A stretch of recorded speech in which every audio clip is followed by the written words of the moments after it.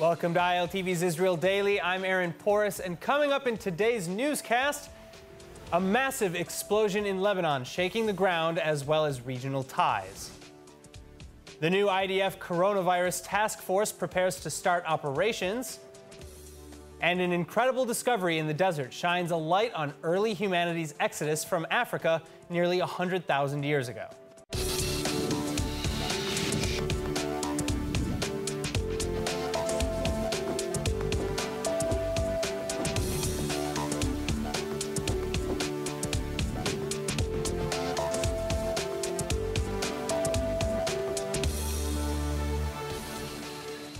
We begin with terrible news to the north. Downtown Beirut in Lebanon covered in debris and smoke following tremendous blasts at a portside facility.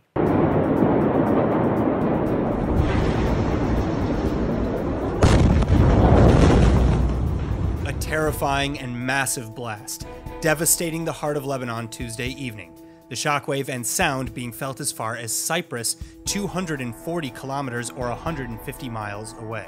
ما ما سمعت لحياتي لحياتي لا لا لا بقوته بعظمته بصوته حتى I've seen war, I've filmed war. I went to in 2006, I went to the South Lebanon to see this. But it took 30 days to do the same destruction. We had it in one explosion. It is a catastrophe. I've never seen something like that. The capital, Beirut, now reeling from the damages, with at least 100 people killed and nearly 4,000 injured, many still unaccounted for. عمره 29 سنة. من الساعة 7 ما خلينا مستشفى ببيروت. بتتفيش بتتفيش بتتفيش وهلا بيطلع اسماء بعد شوي بيطلع اسماء الا من الساعة 7 لهلا على الفاضي. لا معروف ميت لا معروف جريح وين هو ما بنعرف Lebanese authorities not yet confirming the cause of the blast, but sources telling local media that it was sparked by a fire from welding work nearby, leading to a massive cache of explosive materials going up in mere moments. Lebanese Prime Minister Hassan Diab explaining that 2,750 tons of agricultural fertilizer, ammonium nitrate that had been stored at the portside warehouse, had ignited, causing a disaster in every sense of the word. Diab's government going on to declare the coming weeks as a period of mourning in Lebanon, while releasing 100 billion Lebanese pounds or around 66 million US dollars for immediate use as aid, and vowing to find anyone responsible. ما حصل اليوم لن يمر من دون حساب. سيدفع المسؤولون عن هذه الكارثة الثمن. هذا وعد للشهداء وللجرحى هذا التزام وطني ستكون هناك حقائق تعلن عن هذا المستودع الخطير الموجود منذ العام 2014 But in the midst of an economic crisis and a global pandemic, this incident could not have come at a worse time, several hospitals themselves being affected by the blast. خسرنا أربع نورسات ومرضى وفيزيتورز كذا كذا قتيل وجرحى بكل كل كان عندنا شيء 200 جريح عندنا بالقليل شيء 300 هلا بالمستشفى. عندنا تقريبا آه، ست غرف عمليات عم تشتغل شغالة. وجاية يعني بنخلص بيجي فوج اللي بعده. وفي عندنا بالعناية الفائقة شيء آه، أربعة خمسة فاتوا وضعهم صعب. في ثلاثة وصلوا متوفيين حاليا. هذا هو الوضع. الطاقم الطبي كله موجود. كل الممرضين والممرضات كل الأطباء كل حتى الإداريين كله جاي كله عم يشتغل. ما ما ما فيها صار في أضرار مادية كمان كثيره آه، وقعوا الصوفية مثل ما هلأ بتشوفوا هون على المدخل. كسر إزاز بغرف المرضى. إنني في هذه اللحظة أتوجه بنداء عاجل إلى كل الدول الشقيقة والصديقة التي تحب لبنان أن تقف إلى جانب لبنان. وان تساعدنا على بلسمه جراحنا العميقه While worldwide, nations and leaders are answering the call, neighboring countries sending emergency response teams to help in any way they can. Lebanon's arch foe, Israel, being among them. Amidst growing security concerns between Israel and Iranian terror proxies like Hezbollah in Lebanon and Syria, Lebanese and Israeli authorities both ruling out rumors of airstrikes or any Israeli involvement. Then reaching out through international channels like the UN, Jerusalem is offering to send humanitarian and medical assistance. The IDF adding that now is the time to transcend conflict. Israeli President Reuven Rivlin likewise offering condolences and an open helping hand. At least three Israeli hospitals also now offering to take in the wounded. Now, among the Israeli hospitals offering to help with the crisis in Lebanon is the Sheba Medical Center Tel HaShomer, the largest medical center in the country. Joining us with the details is Sheba's hospital international spokesperson, Steve Walz. Thank you so much for being with us. Now, you know, why was it important for you to offer your help?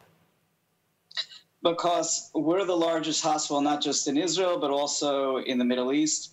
And uh, our CEO or Director General, uh, Professor Yitzhak Kreiss, was actually the one when he was the Surgeon General of the IDF before coming to Sheba, was the one who actually built a field hospital on the border with Syria during the Syrian civil war.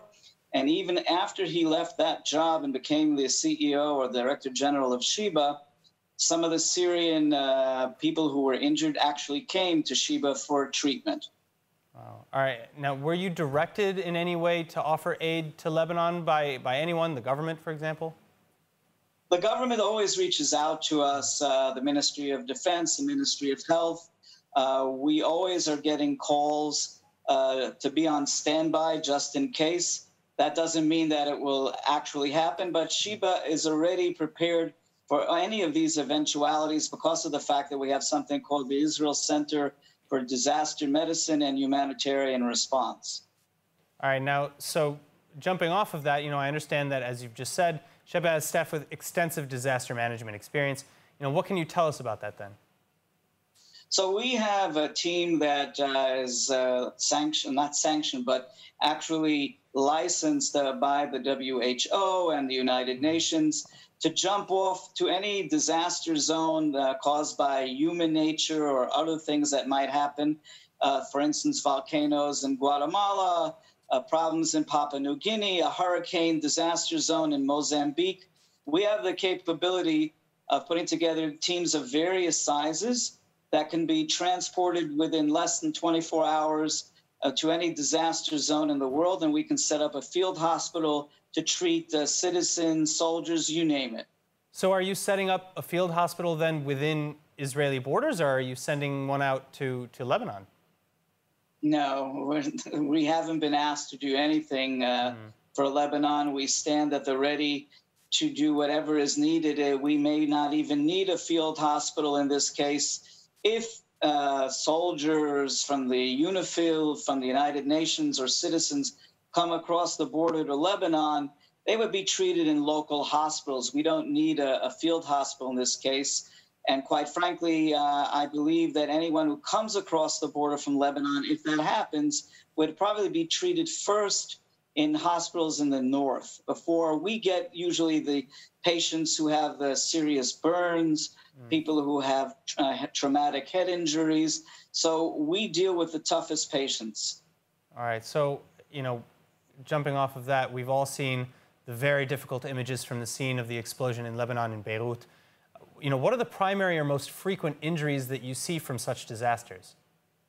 So after you know seeing that explosion, terrible explosion yesterday, the two things that would stand out would be flesh burns and traumatic uh, injuries to the head and the body. Uh, Sheba has a huge trauma center and one of the most advanced burn units uh, in the Middle East. And these are the kinds of injuries that actually were treated by Sheba from the Syrians who came across the border during the recent civil war. Wow. All right, now I know that due to the coronavirus, Sheba Tel HaShomer is actually operating at nearly 100% general occupancy and over 90% occupancy in the coronavirus ward. How many COVID 19 patients are you receiving right now? Well, as of today, we have 41. That number hasn't changed in the last 24 hours. But what has changed are the following we have more and more critically ill patients who have to be ventilated. And that's tragic. We're up to 12 ventilated uh, patients that uh, last week, half that number were being ventilated. And what's even more disturbing uh, the numbers of people who are walking up to our corona tent outside the emergency room, uh, it, we're getting between 40 and 50 a day. And as far as the testing is concerned, we're finding between anywhere from 14 to 20 percent of them being positive for COVID, and that is wow. higher than the national average. Wow. All right. So, with that in mind, you know, do you have room to take in victims from Lebanon should the spillover actually reach you?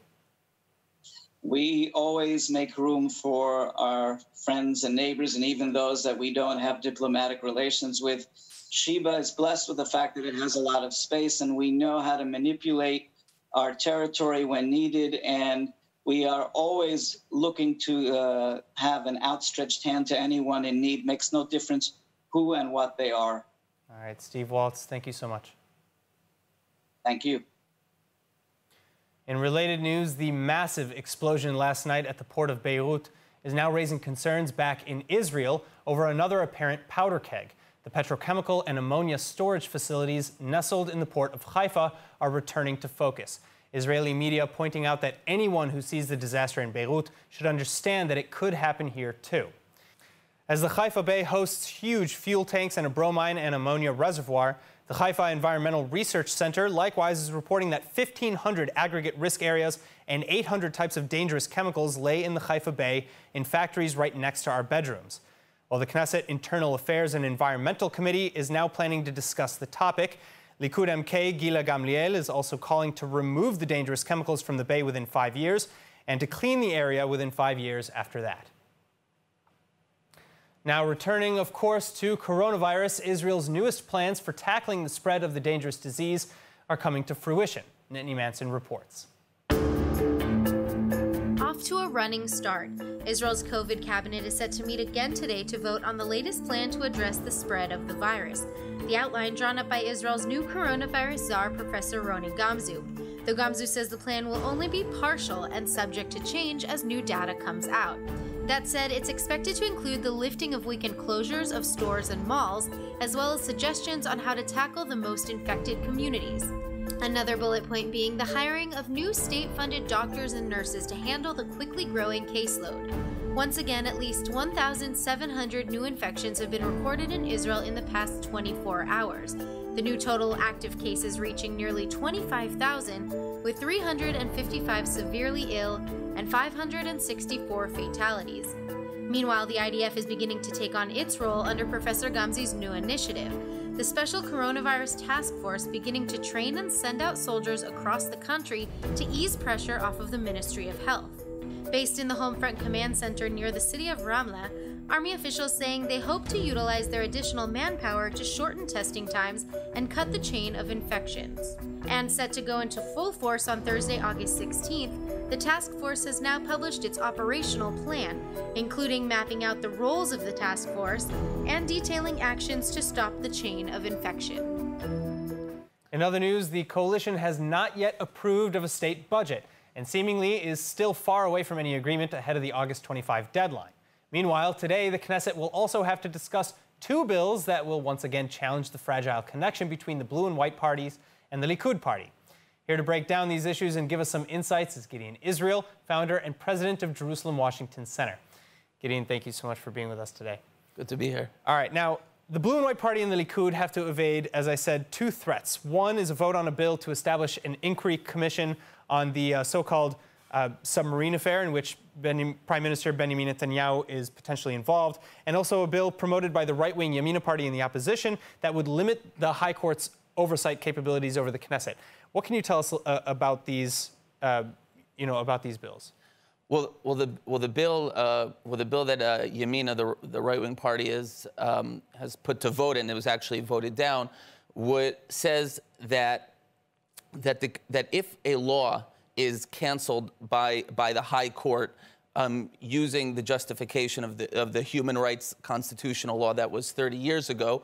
So, that, so, the, Knesset, so the Knesset has, has the option to override the law that was, that was canceled with a majority of 61 votes. Now, the law that was uh, proposed also said that if the High Court wants to cancel a law, it would have to be with at least 11 judges and you'd have to, from the High Court, and you'd have to have two thirds of the, those 11 judges voting to, to, cancel, to cancel the law. Interesting. So, how, how was that threatening the coalition? So, this was, this was a law that blue and white was um, against, and they threatened that if this, this, law passed, they would go to, they would go to elections.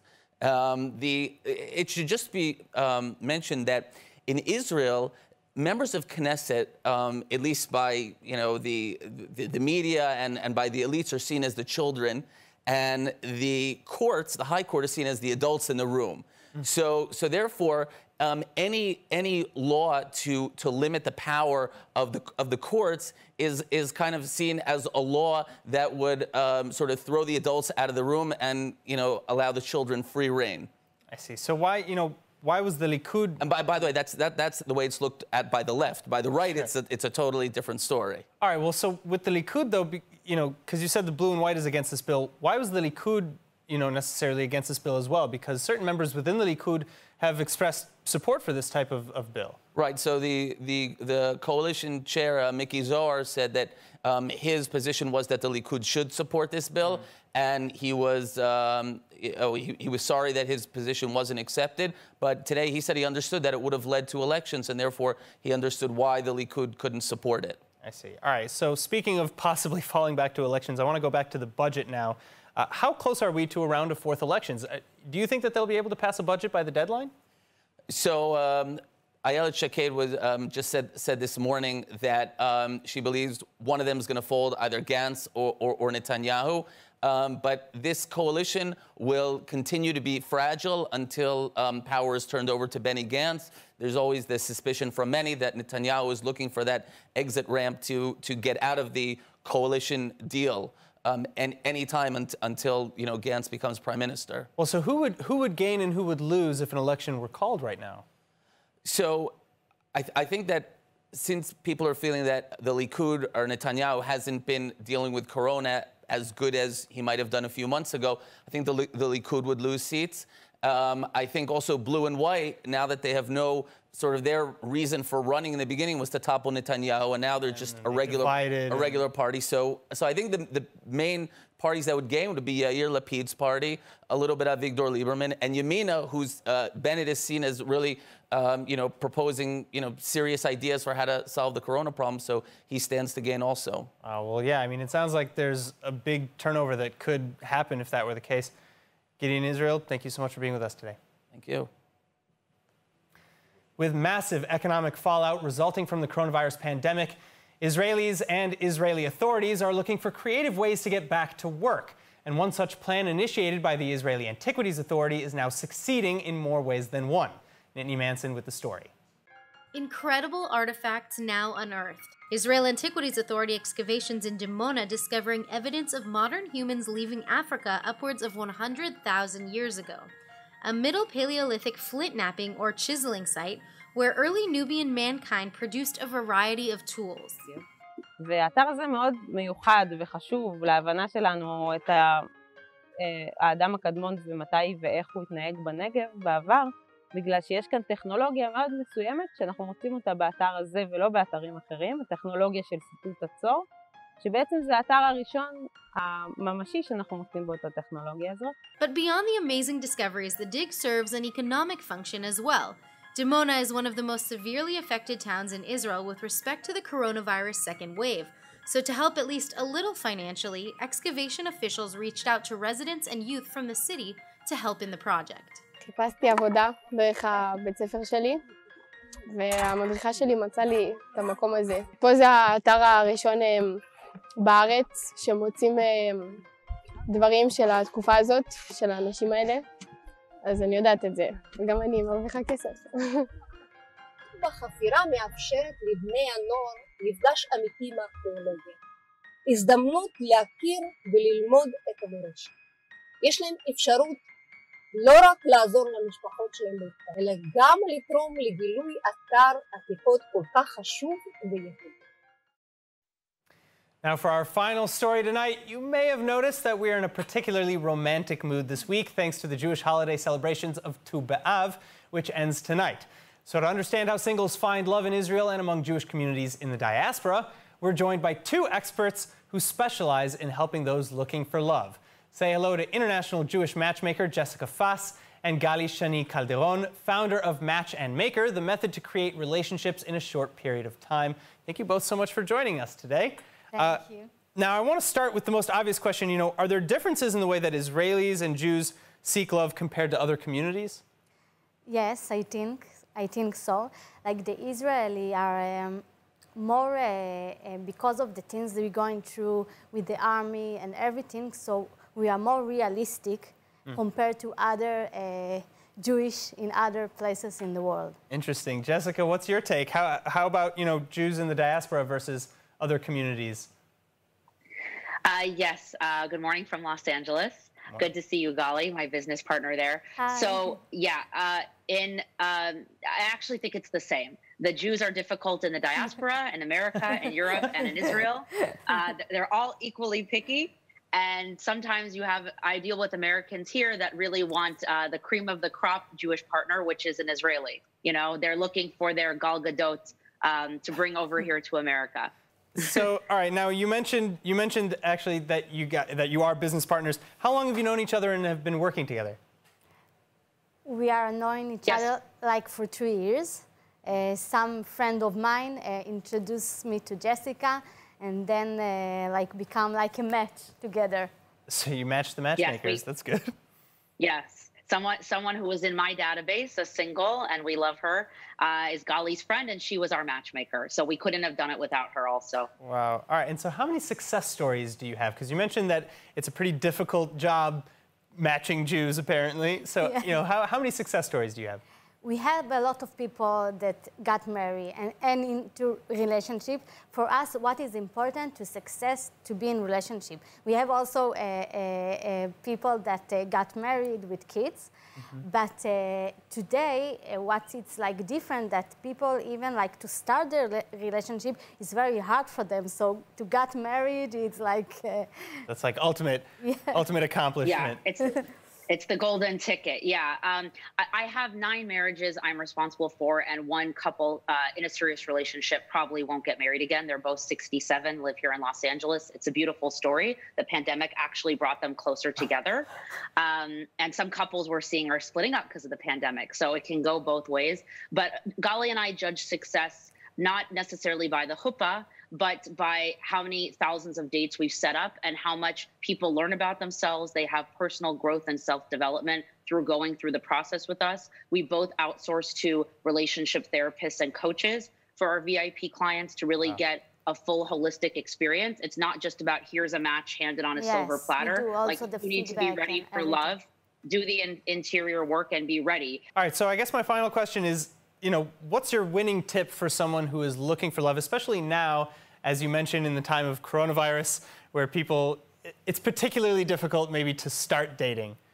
Yes, so what we are uh, what we are doing in the corona time, like we offer to the couple to start the first date in the Zoom because yes to start but not to do it like a business uh, meeting like to have a drink to relax maybe to bring uh, uh, one of each other house like sushi of something that the, the women like or something like that, and to do it very special. After that, we have a lot of uh, creative ideas to, to, to continue uh, in this uh, time of the corona because we, they have a lot of things to share together in this time. Maybe some of them doesn't work, maybe some of them like all the there are all sorts yes. of things that maybe you can yes. kind of find similarities uh, in your in your situation. Yes. All right, well, Gali, Jessica, I want to thank you both so much for being thank with us you. today. Uh, good luck uh, finding more matches, especially now with Tu B'Av ending. Thank you so much for being Thank you. Thank you, Iran. Thank you for having us. All right, now let's take a look at the weather forecast. Tonight should be partly cloudy and warm with lows dropping slightly to about 71 degrees Fahrenheit or 22 degrees Celsius. And then tomorrow, a slight rise in temperatures back to a hot average high of 93 degrees Fahrenheit or 34 Celsius. And now, before we go, of course, let's take a look at what's going viral in Israel.